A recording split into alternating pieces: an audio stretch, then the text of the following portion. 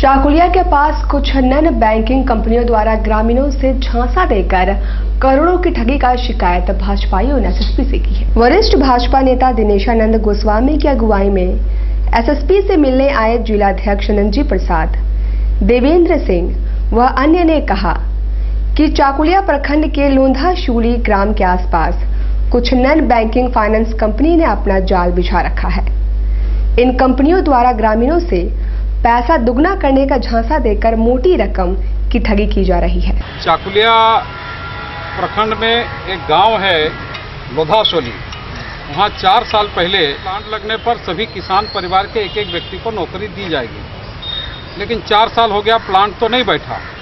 लेकिन उन्हीं समय कुछ नॉन बैंकिंग कंपनियाँ, जिसमें सात कंपनी कोलकाता की, पश्चिम बंगाल की और दो कंपनियाँ भुवनेश्वर की, ये तीन मही, तीन साल में दुगना राशि कर देने के नाम से किसानों से पाँच करोड़ से अधिक रुपया ठगी करके उगा लिया और उनको सर्टिफिकेट भी दिया कि तीन साल में हम दुगना कर देंगे। इसी भूल भुलैया में कई मजदूर जो पत्थर काटते थे, पाँच हज़ार, दस हज़ार और किसान लोग चार चार लाख तक, दस हज़ार से लेकर चार लाख तक अपने पसीने का और अपने पैतृक संपत्ति को बेचकर उन लोगों को उन्होंने दिया। और मंगला हाट दुकानदारों समेत क्षेत्र की विभिन्न समस्याओं के निदान के लिए झारखंड प्रदेश कांग्रेस कमेटी करमवार आंदोलन चलाएगी। वरिष्ठ कांग्रेसी नेता भरत सिंह और एस आर ए रिजवी छप्पन के नेतृत्व में साक्षी में आयोजित बैठक में शहर की नई ज्वलंत समस्याओं पर चर्चा हुई। साथ ही निकट भविष्य में करमवार आंदोलन चलाने पर सहमति बनी।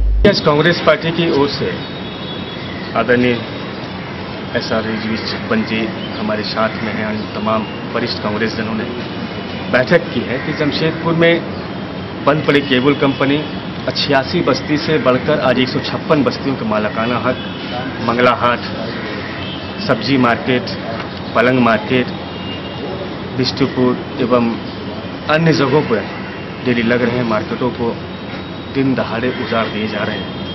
जिसके चलते हम लोग यहाँ पर मांग कर रहे हैं जिला प्रशासन एवं टाटा स्टील के लोगों से कि सबसे पहले उन तमाम लोगों के वैकल्पिक व्यवस्था की जाए, तब जाके किसी भी आदमी को उजाड़ा जाए, दुकानदारों को उजाड़ा जाए। रोड चौड़ीकरण के नाम पर बड़े बड़े पेड़ों को काट दिया जा रहा है।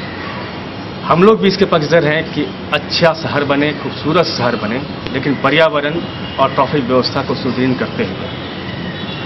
बारी मैदान, सुपरवाइजर फ्लैग वर्कर्स फ्लैग इन तमाम चीज़ों को कंपनी आहिस्ता आहिस्ता अपने अंतर्गत करके, अंदर में करके कंपनी को बढ़ाया जा रहा है। सुनारी थाना में बुधवार को एक प्रेमी युगल को शादी के बंधन में बांधा गया। सुनारी निर्मल नगर में रहने वाली सपना महुआ का प्रेम संबंध समीर महतो से था और 10 दिनों पूर्व वो प्रेमी संग घर से चली गई थी।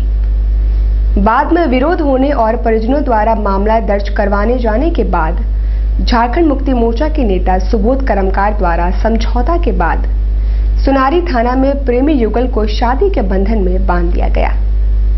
पुलिस समेत अन्य लोग इसके गवाह रहे। आप इसको एक्सेप्ट कर रहे हैं ना? स्टेटमेंट ले लीजिए पंडित जी का फ़ोन पंडित जी का फ़ोन सबको बहुत इस शादी से आप क्या खुश हैं? हाँ बहुत क्या नाम है आपका?